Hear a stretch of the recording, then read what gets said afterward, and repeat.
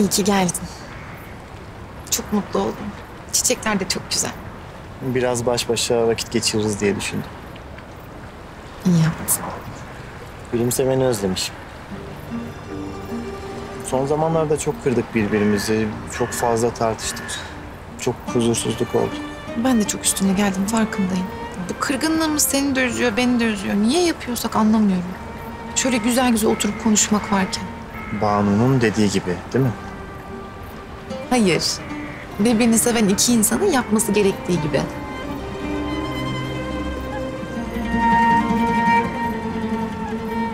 Ben krediyi de iade ettim. Ne yapacağız şimdi? Ya bu adamlar kapımıza dayanırsa? Merak etme. Kimse kapımıza gelmeyecek. Halloldu o iş. Nasıl halloldu? Babam ödedi. Gerçekten mi? Çok rahatladım Mithat. Ha bak bir de kızarsın babana. Dayanamamış yardım etmiş yine sana. Evet ama bir sürü iş açtık adamın başına. İşte yapma böyle. Ya sen ona dert olduğunu düşünüyorsun ama eminim baban sana yardım edebildiği için çok mutludur. Mithat, ya insan kendi ailesinin içinde destek gördükçe var olduğunu hissediyor. Sevdiklerinden ihtiyacın olduğu zaman yardım istemek kötü bir şey değil ki. Yapma artık bunu.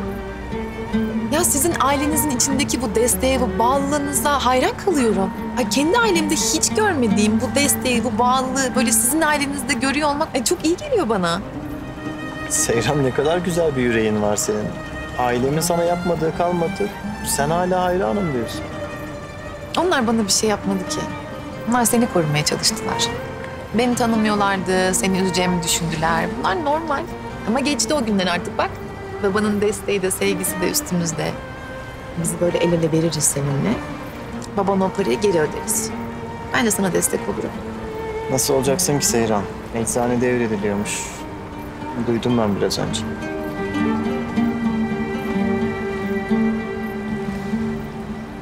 yapayım. Şimdiden iş bakmaya başlarım. Hem belki devralan kişi beni işten çıkarmaz. Eda Hanım da referans olacağını söyledi.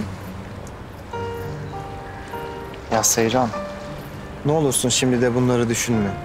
Zaten şimdiye kadar senin çoktan kendi eczanenin olması gerekiyordu ama ben yapamadım, gücüm yetmedi. Ya o kadar canım sıkılıyor ki buna. Yapma işte üzülme. Bana diyorsun sen üzülüyorsun. Ne yapalım canım sorun değil. Bugün olmadı belki ama bir gün hayalim gerçek olur. Belki birlikte açarız dükkanı.